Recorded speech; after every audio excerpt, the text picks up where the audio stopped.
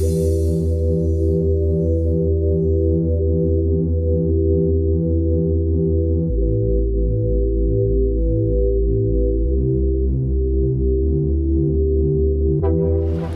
come out for an afternoon dive in late May. Um, as you can see, we're not sheltered where we are here, but with the incoming tide, we're diving at the top end of the island where the tide's going to be hitting. We're more likely to find fish there and we're more likely to get the clearer water. Looking over the side, you can see the bottom in 15 metres. And it looks like there's plenty of tide running along the weed edge here. So this is going to be the first base we're going to start, and then we'll work our way back down the island while we still stay in the current.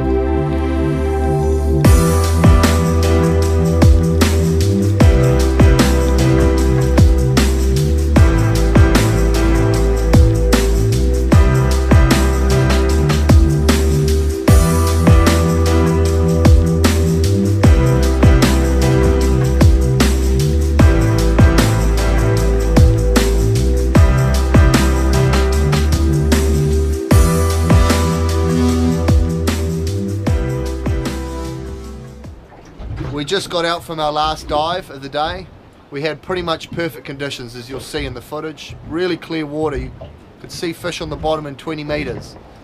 You'll see lots of different types of bait fish that we're looking for as we're coming along the weed edge. You'll see demoiselles, um, koheru, blue maomao, trevally, sweep and fish like that. The most important ones we're looking for is actually more the demoiselles and the koheru. The bigger the koheru are, the bigger fish we're going to find, the bigger predators. When the demoiselles are higher up in the water column, that's typically because there's stronger current, and that's a better, it's a really good sign. You'll find plenty of fish underneath where all those demoiselles are. Also, when you find the koheru are all lit up, you'll see they, they go vibrant yellows. Typically, you'll get big kingfish will be in the area chasing them. You'll see all this in the footage, and you'll see that we've managed to find plenty of fish on the bottom. We were inundated with plenty of John Dory. There was kingfish on just about every dive. We managed to pick up other species like trevally and koheru. It was really great diving.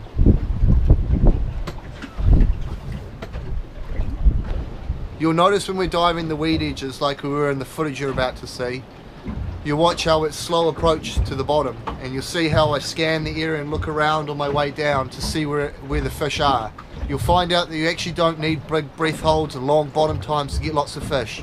You try locate where the fish are before you even get to the bottom and make your dives as short as possible. If you spot the, the right spots along the weed edge where there's plenty of bait fish like I talked about with demoiselles and koheru, you don't need to dive very often. You wait till you see all the demoiselles then you dive. And you'll find in the footage you'll see underneath the demoiselles is typically where you're shooting the John Dory and typically where the kingfish will come through.